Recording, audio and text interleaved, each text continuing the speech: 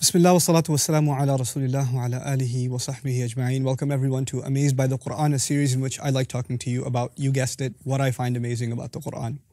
Today I'm going to compare two ayat with you. Uh, those ayat, one belongs to Surah Al-Baqarah and the other belongs to Surah Ali Imran. Again, very, very similar ayat. Let me read them off to you so you appreciate what's going on here. Al-haqqu min rabbik, the truth comes from your Rabb, from your master. فَلَا تَكُونَنَّ مِنَ الْمُمْتَرِينَ Don't you dare become among those who fall into doubt. The other, الحق من ربك. The truth comes from your master. فلا تكن من الممتلين don't become from those who fall into doubt. So one says don't you dare fall into doubt and the other says don't fall into doubt.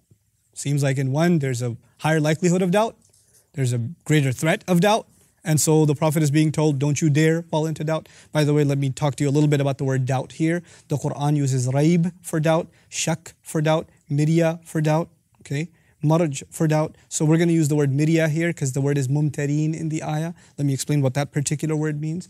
It means that you have a position that you're convinced of, but through somebody's counter arguments and somebody's um, attacks on your position, your foundation, your core foundation is starting to shake and you're starting to doubt yourself. Okay? That kind of a doubt is called a mirya. So don't become of those who loses their foundation and starts doubting the, you know, the basis on which they believe. Okay, that's what the Prophet is being told. Now, what is the comparison between these two? Baqarah, the ayah actually belongs to the passage where the, uh, the, the direction of Muslim prayer changed from Jerusalem to Kaaba, to Mecca. And when that direction changed, the scholarly members of the Jewish community critiqued the Muslims about how that's ridiculous, how Mecca has no sacred value. Historically, the sacred house is Jerusalem. And of course, they're scholars. The Prophet ﷺ is an ummi. The Prophet is an unlettered prophet. And these are people that are just literally described in the Quran as ahbar, scholars of ink. Like their hands are always dirty with ink because they're writing so much all the time. These are PhDs and then some. That's what they are. And they're telling you you don't know what you're talking about. Now, when an academic, uh, someone with a lot of intellectual promise, credentials, when they tell you you don't know what you're talking about, it can mess you up. A high school student gets into college, goes to a PhD in philosophy, who's teaching philosophy 101, he's going to be intimidated by his academic credentials. He's going to feel like this person, after studying all that much, must know more, must be right. I mean, how can they be wrong? They're an expert after all. You see what I'm saying? So the context here is because the criticism is coming from those who have very academic, very high academic credentials. You are in a chance, you have a chance of becoming intimidated. And that intimidation can make you question yourself. Don't. Truth comes from your master. Don't become from those who fall into doubt. You know, after all, the historical integrity of the Kaaba is a, is a historical debate. It's something that requires a lot of research. When Allah says that first house built for the worship of Allah for humanity was at the location of Mecca or Bakka, that's something that requires a lot of historical digging.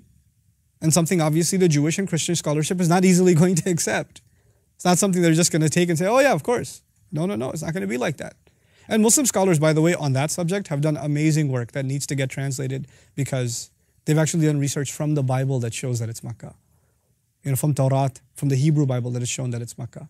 Inshallah, one day we'll get to that.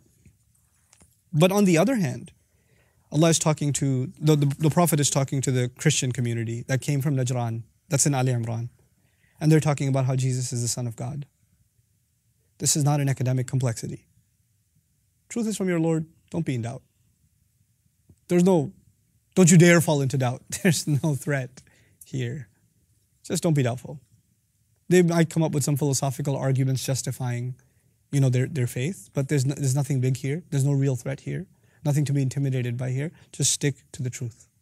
Just stick with the truth. So when you're being, you know, uh, the lesson drawn for you and me, of course, is that there are two kinds of doubt. There's emotional doubt and there's intellectual doubt. Emotional doubt is the doubt, the kind of doubt that wasn't tr- attempted by the, Jew, the, the Christian community out of love of God, out of the want of salvation, wouldn't you want to have a guarantee? Wouldn't you just want to be saved? You know? And then through that, and by the way, when people are not feeling love in the Muslim community, when they don't feel love, and then they go to the Christian community and they feel loved, then it makes them start doubting Islam and you, you think there's an intellectual problem and you start arguing three is not one, one is not three, look at their Bible, look at how much it's changed and all this, you're making intellectual arguments. But their doubt isn't intellectual. Their doubt is emotional. Their doubt is if those people are wrong, why are they so kind and nice? And if we're truthful, why are we so mean and insensitive? That's, that's the doubt. But the, the academic doubt is a different animal altogether. The academic doubt is about making arguments that are, you know, they sound so elaborate with all these terminologies and all these books and papers and research and all this stuff that looks so staggering and intimidating that you say, man, I don't know if I can believe what I believe anymore because there's a lot of PhDs done on how he's not a prophet. You know, that's intellectual doubt. Of course, the Muslims are supposed to fight both. Allah did not dismiss one doubt or the other. The academic doubt came from, the, the attack of academic doubt came from the, the Jewish community, the Jewish scholarship. The emotional doubt was brought forward by the Christian community. And Allah acknowledged both of them. He did acknowledge that the academic is more dangerous. He did. And by the way, let me tell you why now the emotional is less dangerous. I'll tell you why. The Prophet ﷺ is not a scholar. He didn't study in a seminary. He doesn't have a PhD. He's not an academic. He's not writing books. So they do have, in that sense, what they might think is an upper hand, yes?